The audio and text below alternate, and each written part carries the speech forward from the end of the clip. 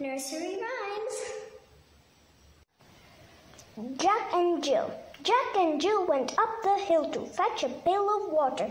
Jack fell down and broke his crown, and Jill came tumbling after.